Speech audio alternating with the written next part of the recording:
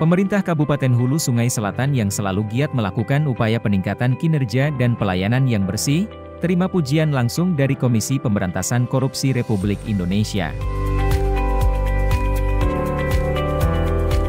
Hal ini diungkapkan pada gelaran acara koordinasi pencegahan korupsi yang diselenggarakan oleh Inspektorat Hulu Sungai Selatan, bertempat di Pendopo Bupati Kandangan.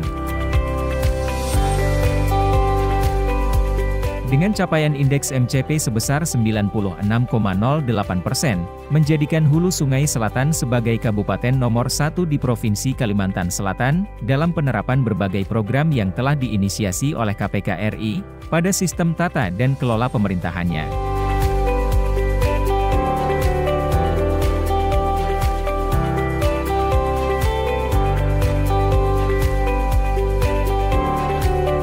Tim Liputan HSS TV melaporkan.